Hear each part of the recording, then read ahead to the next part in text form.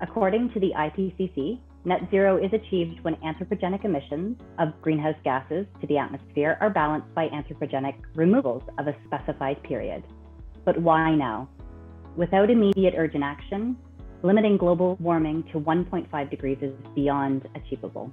More than ever, companies are taking action and setting net zero targets, but they need help on setting and implementing targets.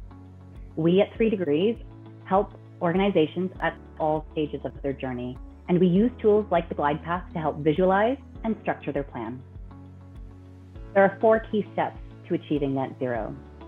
First of all, businesses should look to integrate strategy. This includes alignment and preparedness for a climate journey within an organization, defining greenhouse gas inventories, setting science based targets, engaging with stakeholders, and undertaking climate scenario analysis. Next, organizations should look at operational reduction. This means reducing scope 1 and scope 2 emissions. This could include modeling renewable energy procurement options via EACs, RECs, PPAs, or on site solar, identifying energy efficiency measures, and looking at fleet electrification.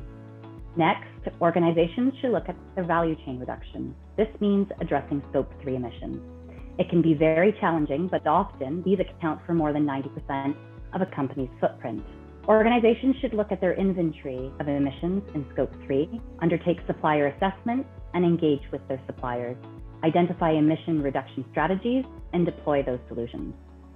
Even with highly effective decarbonization strategies in place, there are residual emissions.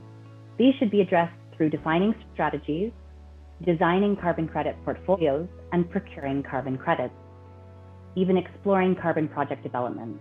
With these four steps, organizations can effectively address their climate and energy goals.